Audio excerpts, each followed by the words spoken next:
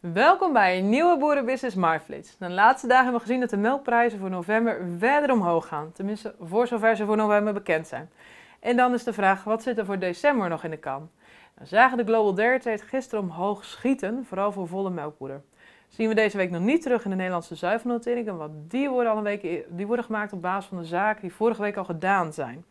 Volle melkpoeder krijgt er desondanks iets bij, een plus van 2 euro door 269 euro per 100 kilogram.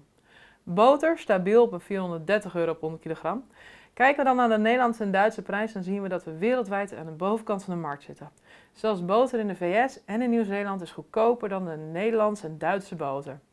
Magere melkpoeder stabiel op een 200 euro per 100 kilogram. En misschien gaat hier volgende week dan de GDT nog in doorwerken.